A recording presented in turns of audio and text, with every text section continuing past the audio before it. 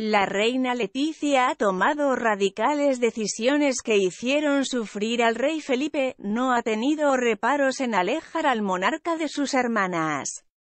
Ni con la infanta Elena ni mucho menos con la infanta Cristina, la reina Leticia ha posibilitado el reencuentro familiar tras los escándalos protagonizados.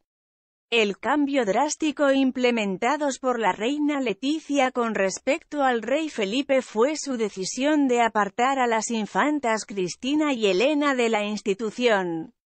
Hasta hace unos años, tanto Elena como Cristina tenían cierto protagonismo en la agenda oficial de la Casa Real, pero nada queda de ellas en la órbita del rey Felipe.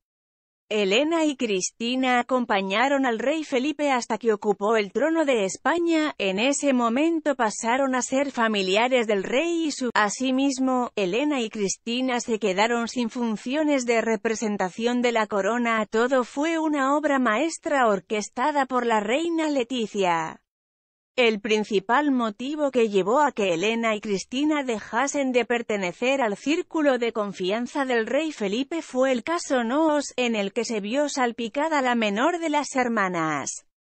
La infanta Cristina fue protagonista del caso que acabó con su marido, Iñaki Urdangarín, en prisión. A ello se ha sumado la mala relación de la infanta Elena con la reina Leticia desde el divorcio de esta con Jaime de Marichalar.